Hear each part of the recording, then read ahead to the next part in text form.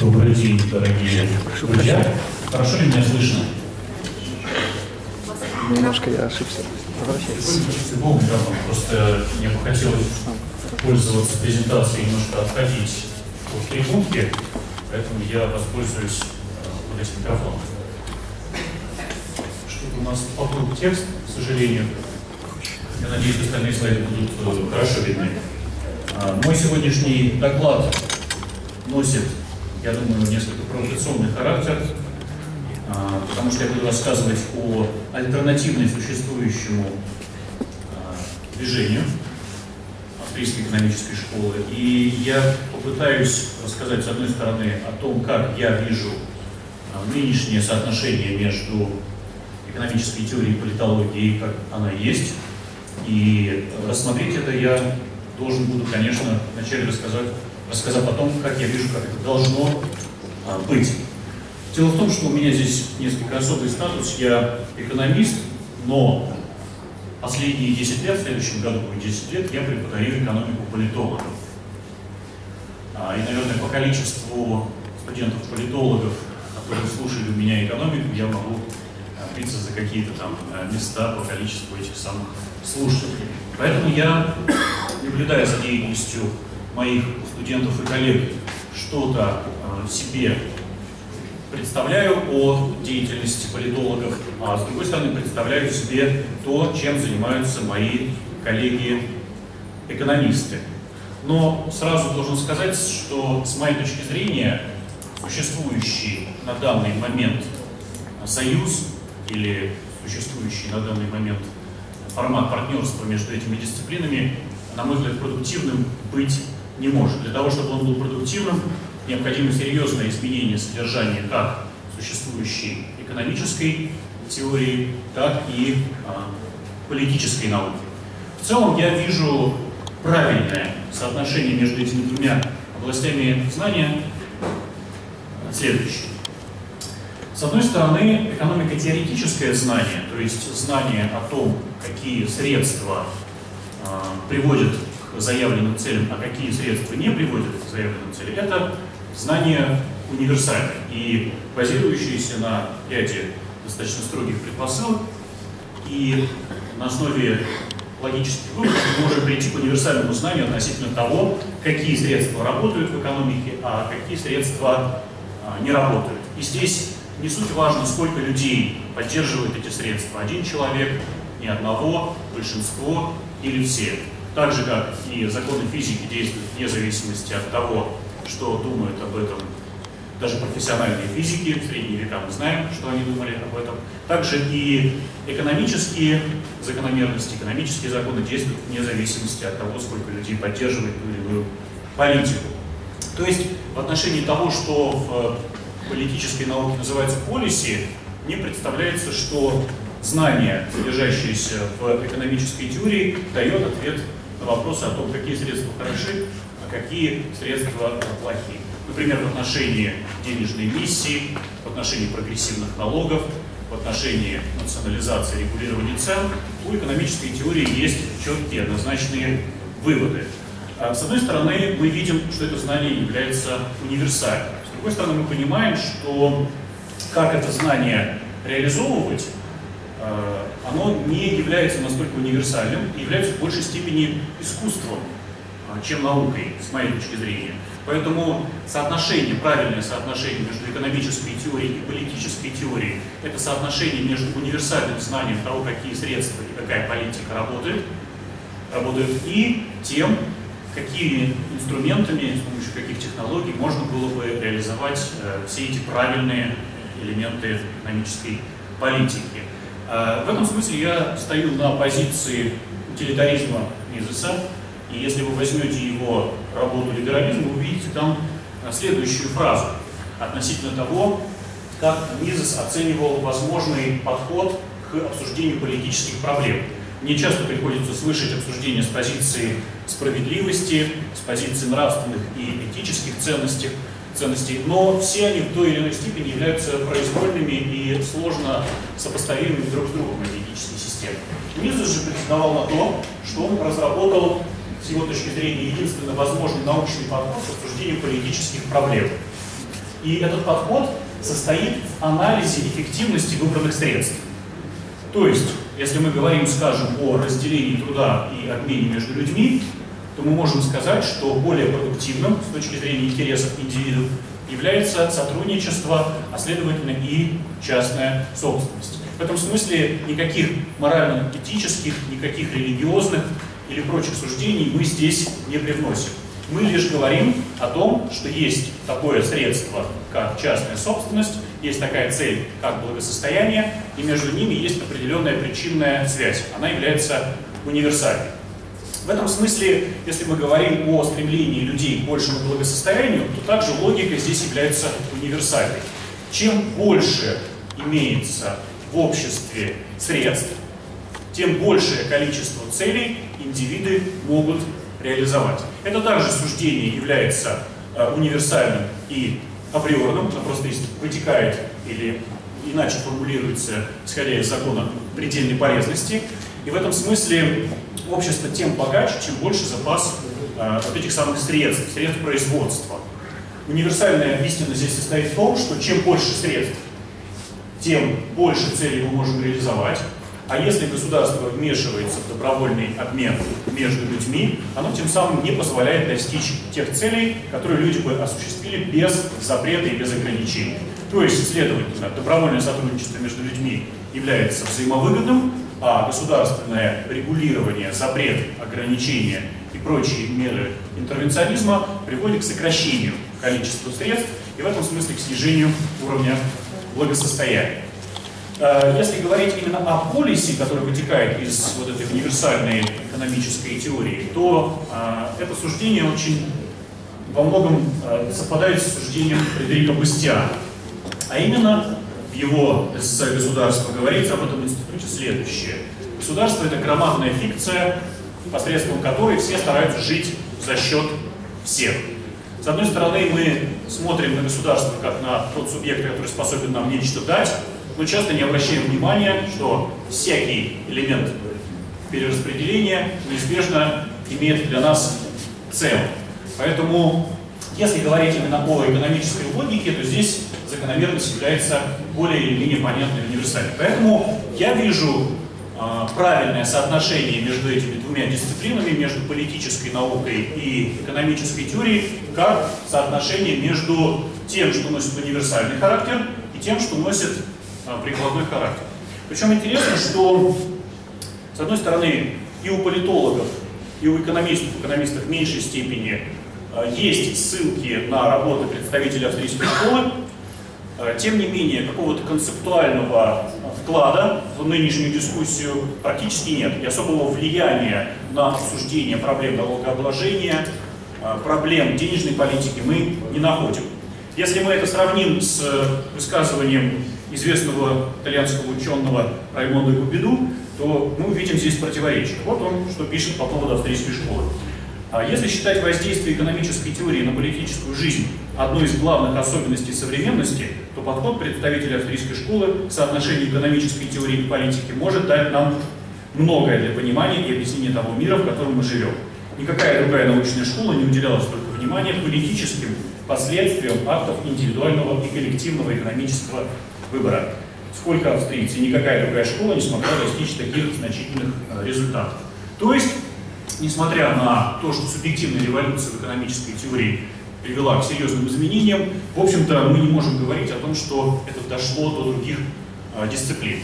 Это я все говорю про то, что мне представляется правильным, потому что для меня, как для экономиста, который работает с политологами, существует такая проблема по аналогии с теодицеей, как экономика ДЦ, да? то есть как оправдание того, что экономисты едят свой хлеб, и выполнять они вследствие этого должны, видимо, какую-то полезную для общества функцию. Она вовсе не обязательно должна состоять в том, что экономисты что-то регулируют и производят, но тем не менее они как-то должны обосновать свою значимость для общества. Для меня обоснованием является то, что экономическая теория, как область знания, защищает людей от ошибочных средств, которые часто политиками предлагаются. То есть у экономики, у экономики есть ответы на эти вопросы, но эти часто вопросы э, игнорируются, они неизвестны. Э, и вот политэкономические знания я бы разделил на такие две большие группы. С одной стороны, это знание универсальных законов. Кстати говоря, существует мнение о том, что экономисты — это в каком-то смысле представители экономической теории. И здесь возникает идея экспертократии. Эксперты могут на самом деле иметь очень разные представления о устройстве своей науки. И если вы полагаетесь на мнение экспертов только потому, что они эксперты, то вы создаете э, особый стимул для людей образовывать группы по интересам. И экономисты во многом действительно стремятся к тому, чтобы давать власти те рекомендации, которые будут э, востребованы. А экономисты очень редко хотят быть принципиальными, если это не востребовано властью.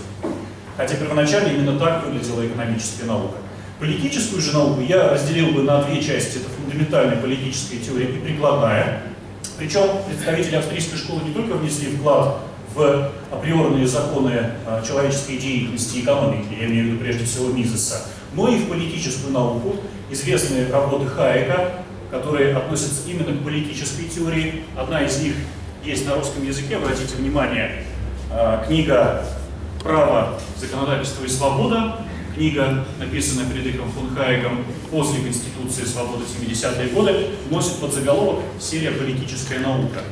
А, с одной стороны, к политической науке это относится, но а, какого-то существенного влияния на обсуждение проблематики мы здесь не видим. Хотя у Хайека очень интересные есть э, исследования, связанные с соотношением между демократией а, и свободой, причем довольно критическое отношение, не столь распространенное, может быть, именно с представителями, э, не, не столь распространенное среди представителей мейнстрима.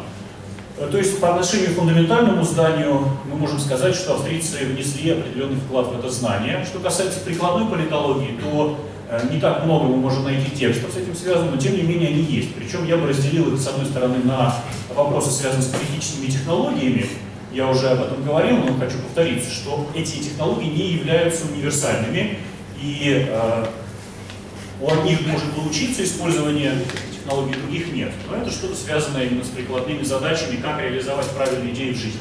А с другой стороны, мы можем интересоваться тем, как конкретно действуют те или иные политические авторы. И в этом смысле среди австрийцев есть авторы подобного рода, например, исследования Мизеса «Всемогущее государство», о том, как э, происходило а, вот это всемогущее государство в Германии и какими сопровождался этот процесс, а также политические партии, как они боролись а, за власть.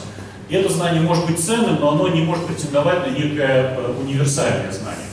Вот, поэтому, а, если мы хотим корректно понимать, что такое политэкономическое знание, нам нужно как в качестве базы иметь корректную теорию, и в качестве э, приложения того, каким образом реализовать эти идеи, мы бы смотрели, что можно здесь ценного э, найти.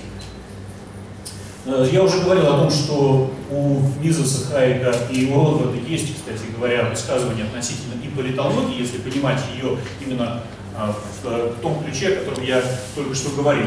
Э, у Мизеса, понятно, это прежде всего экономическая теория, хотя вот у Хайека мы можем найти и политические работы, и он не зря их сам называл политическими.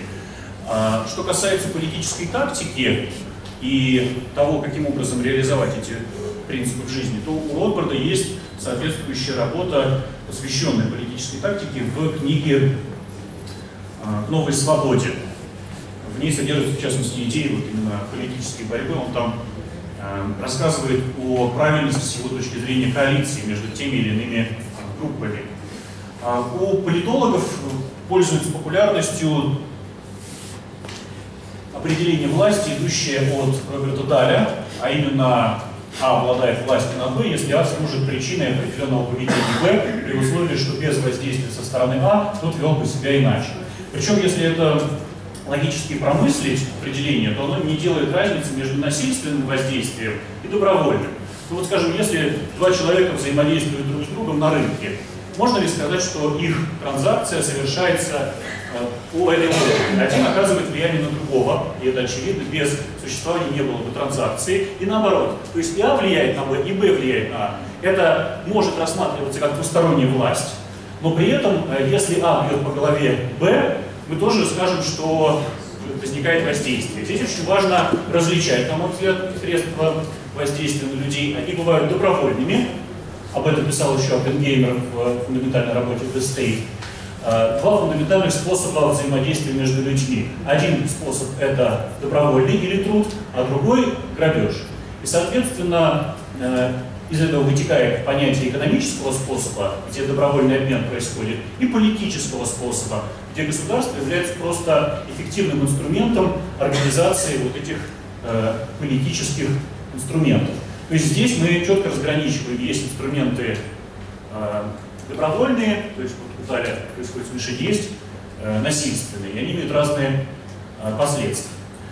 Э, итак, я уже говорил, как должно быть. Экономисты открывают универсальные законы экономики, политики, и не только политологи, да, и политиков, зная их, реализуют их демократическим путем, то есть через просвещение. Есть один пример, как минимум, такого успешного действия. Это отмена хлебных законов в Англии в XIX веке, когда вначале была накоплена определенная критическая масса идей относительно того, что хлебные законы делают Англию само по себе беднее, и через создание организации, которая вовлекала все большее количество людей, а, было принято решение, меняющее хлебные законы, а надо понять, что хлебные законы были введены элитой, в которой были и деньги, и власть, и еще поддержка церкви. И против этого были выставлены исключительно разумные экономические идеи. Поэтому вот вам пример того, как должно быть. Есть определенное правильное знание, его нужно донести и это знание реализовать. Но по практике, по практике получается не так. По практике получается не так, что э, экономисты и политологи э, разделили сферы своих интересов, и так как у экономистов есть э, своя особая сфера интересов, то они в общем-то, игнорируют все, что выходит за рамки их прямого интереса, то есть прежде всего выходит за рамки мейнстрима. А, какая рецепция у экономистов есть идея австрийской школы? Ее нет никакой. А, в микро- и макроэкономике не содержится каких-то значимых а, концепций, и теория цикла, и теория экономического расчета, и ценности, все это так или иначе проигнорировано. То есть экономисты, в общем-то, не сильно этим интересуются, мы не знаем, что это такое, но считаем ошибочным. Понятна причина, потому что это может быть э, опасно для наших особых интересов. Политологи — это другой факультет, они не хотят ссориться с теми, у кого э, сосредоточена определенная власть, поэтому они готовы верить. Ну, есть эксперты определенного типа, вы в какой области эксперт? Я вот по правой ноздре. И вот я в ней все знаю. А вы, а я по левой лазре. Ну, я туда не буду суваться, потому что я вообще в этом ничего не понимаю. Дайте мне, э, какую политику вы хотите реализовать, я напишу, как это делается.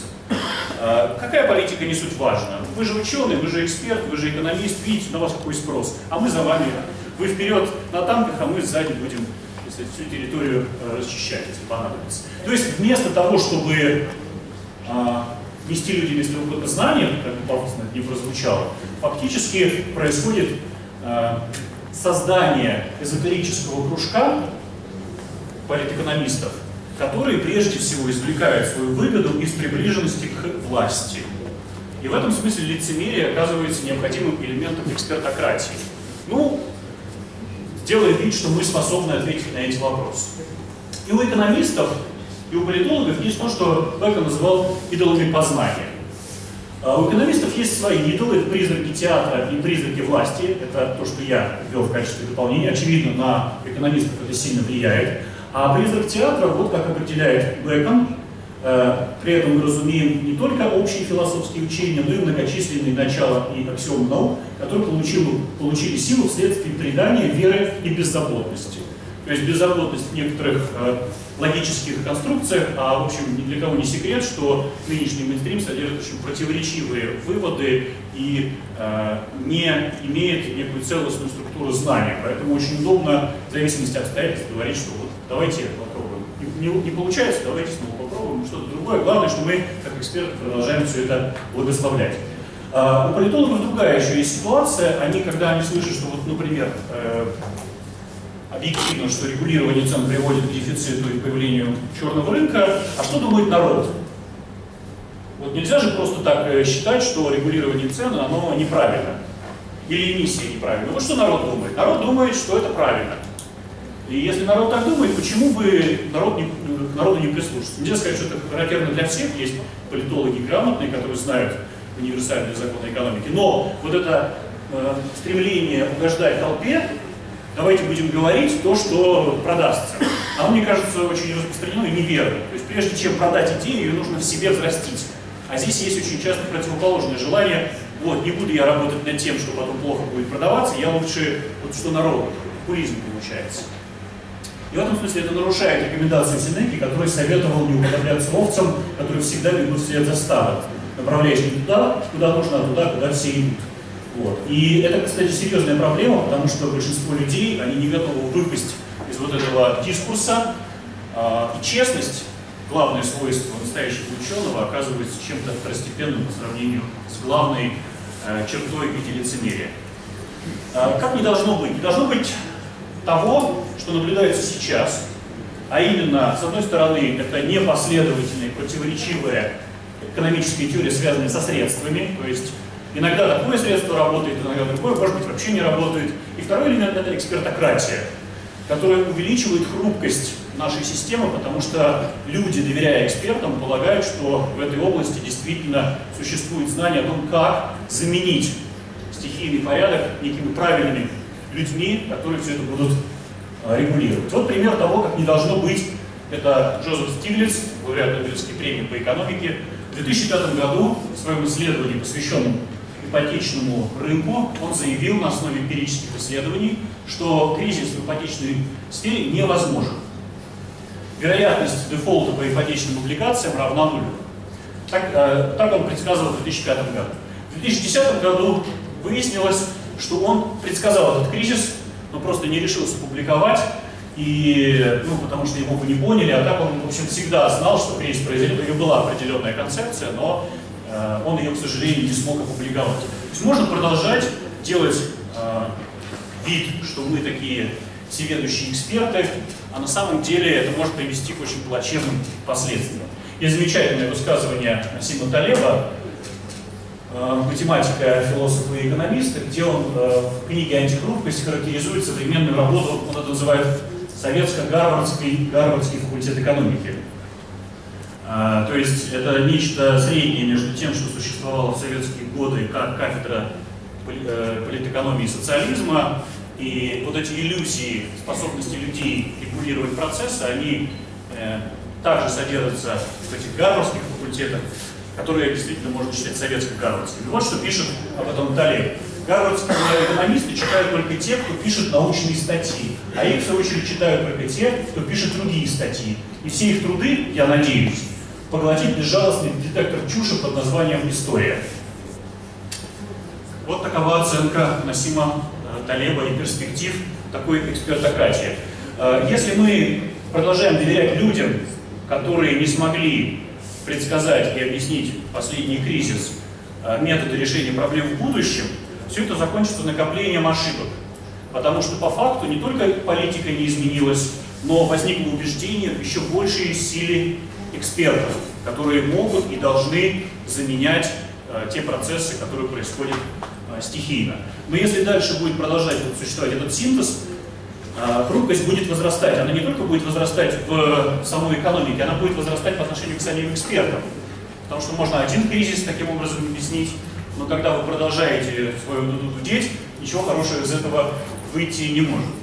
Поэтому я бы э, подумал о том, что нынешнее положение дел такое устойчивое, приятное, когда человек сидит э, на ставке и думает о том, что он занимается наукой, как не очень устойчивое, потому что история меняется. А, и научного атеизма мы уже сейчас не знаем многих других вещей. Я думаю, что так же, как формируются пузыри на финансовых рынках, многие знатные и уважаемые экономисты, да и политологи, относятся просто к элементу пузыря, который образовался на интеллектуальном рынке. Ценности их работы не имеют ни с практической, ни с теоретической точки зрения. А то, что нужно делать, это серьезно переосмыслить причины кризиса, что не было сделано до сих пор. А, и говоря о том, что содержится сейчас в головах людей, которые занимаются изучением политологии, я действительно иногда прихожу в некий ужас. Потому что, ну вот это одна из хороших версий считается. В Лондонской школе экономики э, люди, которые входят в политическую науку, изучают золотые тексты. Теорию справедливости Роуза, правосла... право... православие, правосудие для ежей Рональда Дворкина, основы тоталитаризма Ханны Аренд, э, идею правосудия Амартия Сена, а также Платона, Монтеске, Маркса, Макиавелли, Гоббса. Ну, еще можно сюда модных каких-нибудь приписать Жижиков.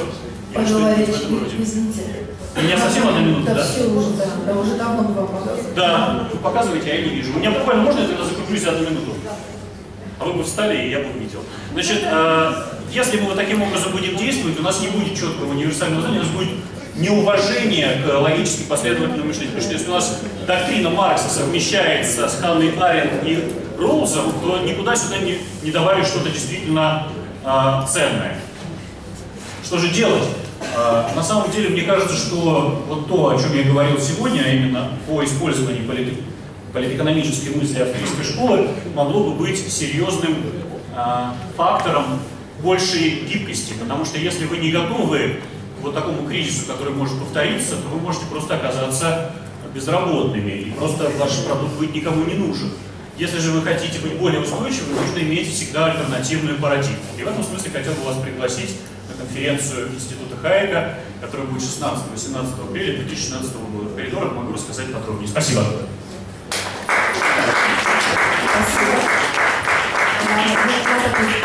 Широкий спектр взглядов представлен, что я думаю, и вопросов будет много, и даже, наверное, выступающих будет друг другу вопросы.